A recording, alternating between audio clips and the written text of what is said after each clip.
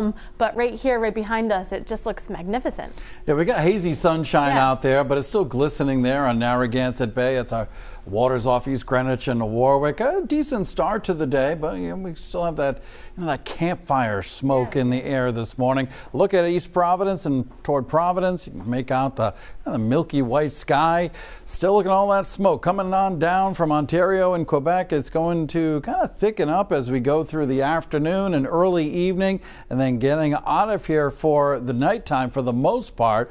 But we're still looking at unhealthy air across a good portion of Rhode Island for today. Off to our west, that's where the worst of it is. I've been looking on social media, all of the uh, many people in Connecticut reporting really thick smoke and uh, really unhealthy conditions out to our west. But we're still looking at poor air quality today, a poor air quality alert in effect. Stay indoors, windows closed, especially if you have an underlying heart or uh, lung condition.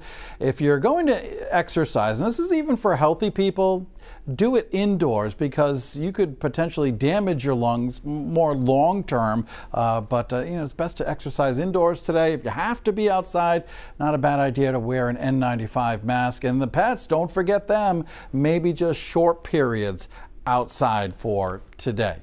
Uh, keep them indoors if you can. Live radar, we're looking at dry skies across the region. Threat tracker for today at the medium level because of that uh, air quality alert. Next couple of days for now look quiet. We could be dealing with poor air quality again tomorrow. We'll watch that. Temperatures are in the 50s to lower 60s at the moment. We're warming up slowly. 59 degrees in North Kingstown with a wind from the west northwest 10 miles an hour. So we're still seeing all these clouds and showers spinning around to our north. The same area of low pressure that's kind of giving us the unsettled weather also drawing down the smoke from Canada. And that will continue kind of off and on through the daytime today. But as far as a rainfall, maybe just a quick spotty shower during the afternoon and evening. We're looking at partly sunny skies otherwise. Now jumping ahead into Thursday, starting off with sunshine. I think we're looking at partly sunny skies tomorrow as well. But uh, it might be a little bit more in the way of shower thunderstorm activity for Thursday afternoon